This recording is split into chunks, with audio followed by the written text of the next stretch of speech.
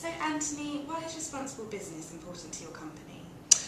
It's really, really important that um, we instill in our staff here the vision and values that we have in our firm.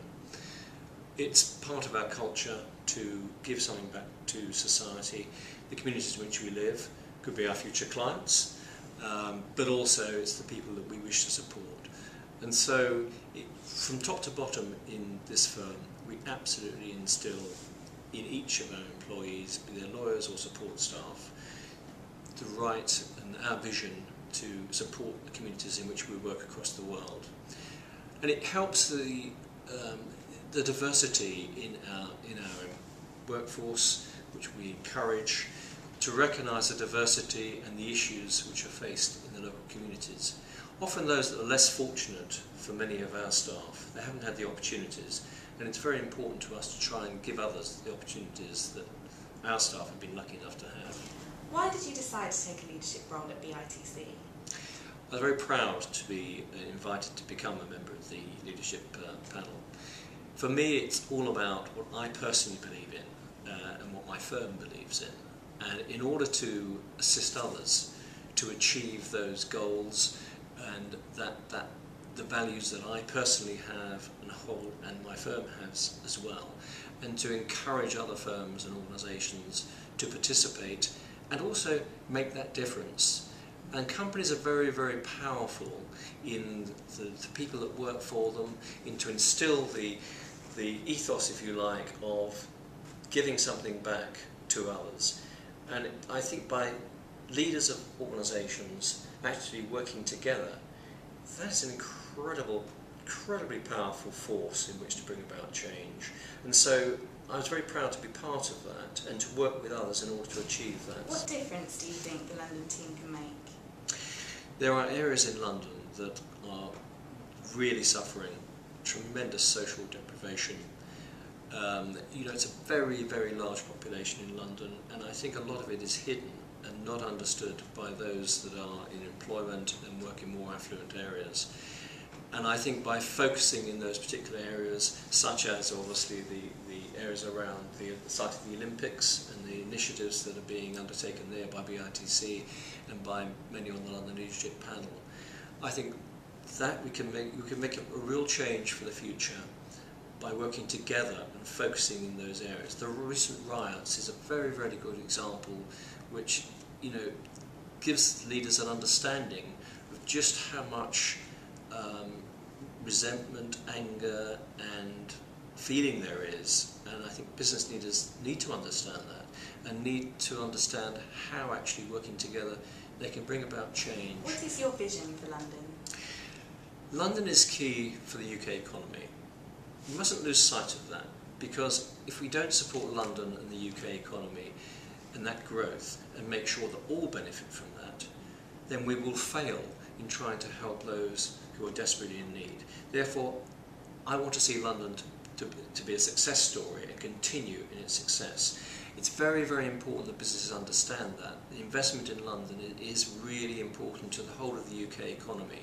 But ensuring in that investment actually that everyone benefits from it, not just the few. How are you supporting the future leaders at Eversheds to be responsible leaders?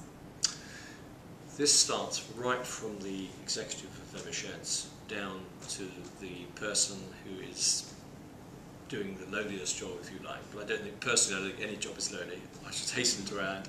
But if you know what I mean, it's from the most junior person to the most senior person in the organisation.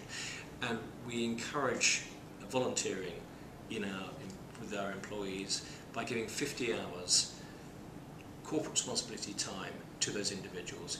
They can use that to support a charity of their choice, or one of the many charities in which Eversheds support, business and the community activities, whatever they choose to do, those hours count towards it. They count towards their bonus as if it were chargeable time, as if the firm was getting financial reward as a result of that.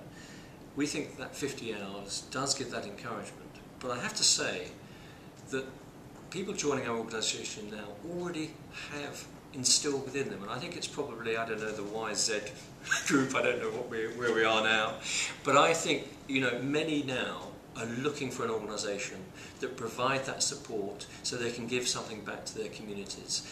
We also support um, various uh, groups such as our gender group, diversity group and others in order to change the way people feel, think and work both within the organisation and outside. And by doing that throughout the organisation and instilling in them that that is our values, they are our values rather, that means that as they grow through the organisation, it's very much part and parcel of how they feel and how they feel um, they will progress and be recognised, um, not just for the expertise they might have in their particular area or skill, but just uh, the fact that they are giving something back, and this is what you know our clients believe in, we believe in. What are the future challenges facing your industry, and how can responsible business practices help to address them? I'd like to focus on two areas which I think are really important. One is gender, which I know a lot of industries, um, including the legal profession, are focusing on, but also opportunity.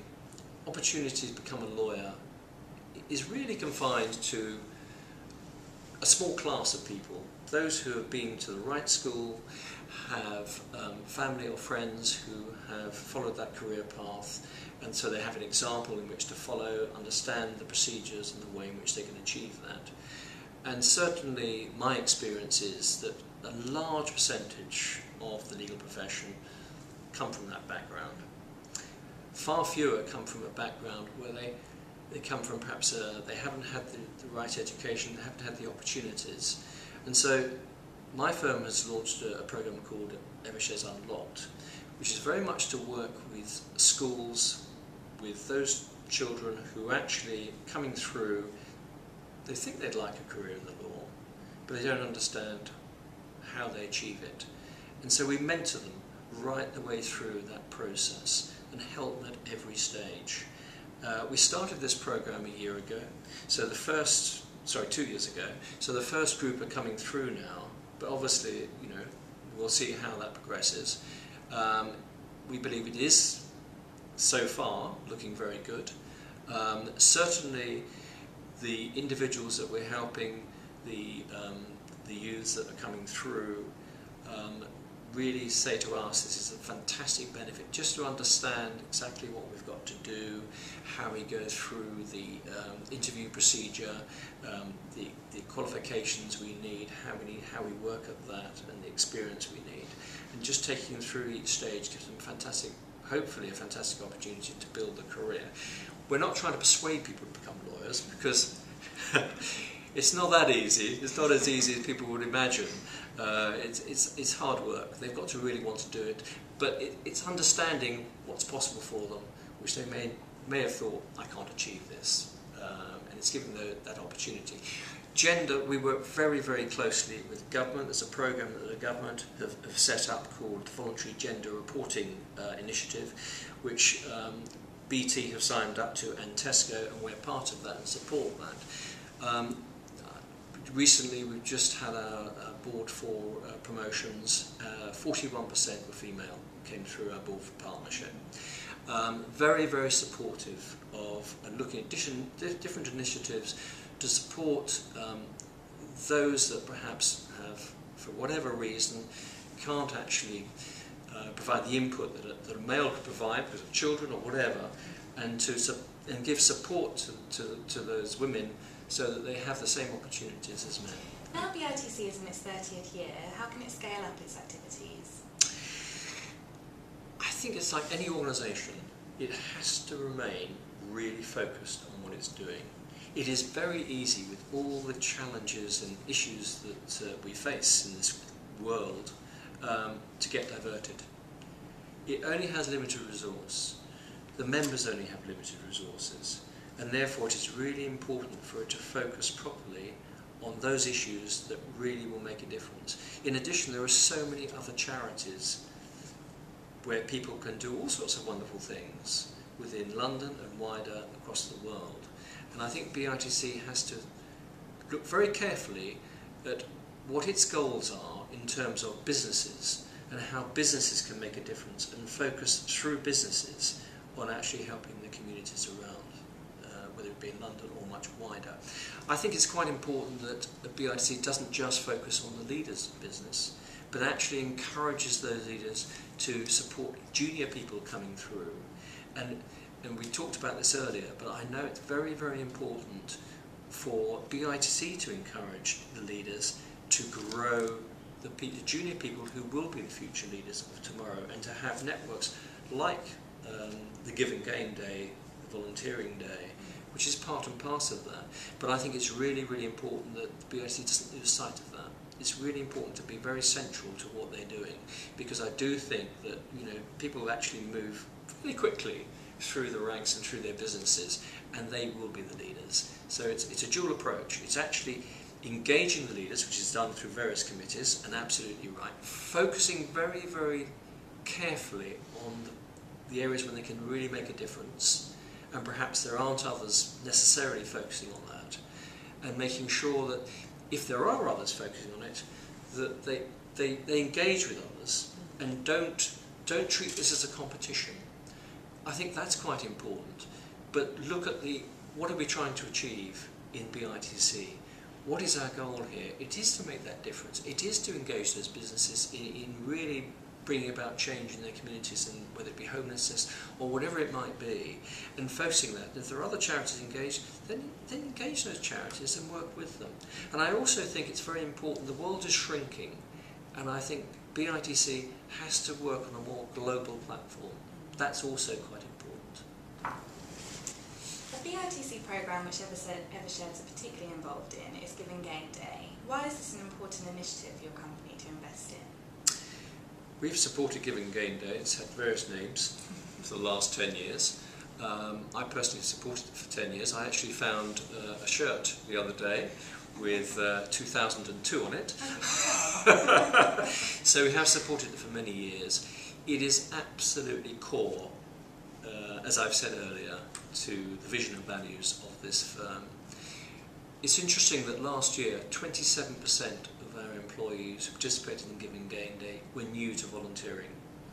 You know, it's a 27% increase and it shows the value in, in continuing to support this volunteering day, one day in the year when collectively we can make a real difference across the globe now. Now it's international, but previously in the UK. It also fits with the various initiatives done by each of our, we have a corporate responsibility partner in each office. They support that within our, our firm. It also helps us knit our offices across the world together. We have many offices now. Latvia is one that just contacted me the other day, Italy, Hong Kong, and it, it sews the firm together with what we're doing across the globe. And so for me, it absolutely ticks every box. Plus also, it allows our employees to have that visibility that they're doing something together and doing something that's good. So it's, it's, it's a tick in every respect because it enables junior individuals to take responsibility for managing a project as well, which they may not have the opportunity to do within the firm. So it's good from a management point of view, as well as what I consider to be the principal reason for doing it, and that's giving something back.